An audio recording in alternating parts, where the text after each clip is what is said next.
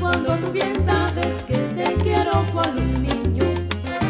Tus besos no me disgustan, mi papi, tú bien lo sabes.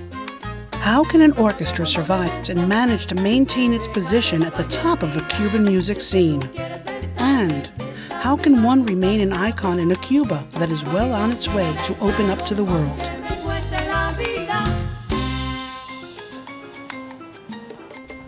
Bueno, yo tenía como 15 años. Bueno, pues mi mamá llegó impresionada porque había visto las anacaonas en el Teatro América y me decía que ella soñaba que desde que las estaba mirando, ella decía, ojalá pudiéramos estar en Anacaona. Que las anacaonas tocaban y estaba todo cubierto de mesitas eh, y era accesible a, a todo el público, tanto personas mayores como niños y eso que podían In 1932, a flock of musical sisters from Havana founded an orchestra, which they named Anacaona. The orchestra, consisting entirely of women, was a success, and despite constant changing times, managed to survive.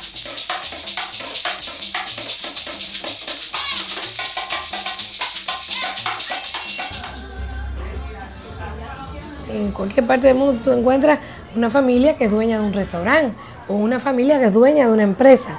En este caso es lo mismo, esta es nuestra empresa, ¿me entiendes? Y como es nuestra empresa, pues uno la cuida, la defiende, la quiere y tiene que, que luchar por mantenerla.